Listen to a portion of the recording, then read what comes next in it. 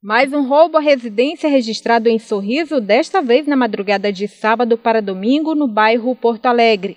Segundo informações, a vítima e a família estavam em casa quando uma pessoa não identificada começou a bater no portão insistentemente. Isso era por volta de uma e meia da madrugada. Após um período, a vítima foi verificar de quem se tratava. Momento esse em que foi rendido pelo suspeito. O criminoso pediu dinheiro e, como a vítima tinha apenas a quantia de 100 reais, o criminoso, não satisfeito, acabou levando o veículo. Por volta das 1h30, mais ou menos, já na madrugada de hoje, nós fomos acionados ali na rua é, Barechal Cândido Rondon, no bairro Porto Alegre.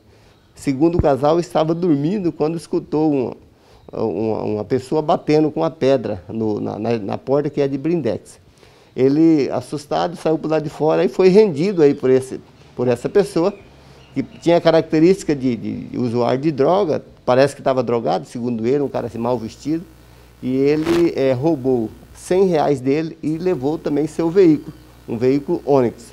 Agora, já no amanhecer, nós fomos acionados que esse veículo estaria abandonado lá no bairro Jardim Carolina. A guarnição é, composta lá pelo sargento Alexandre foi no local e fez o, o recolhimento do veículo e devolveu aí para seu proprietário.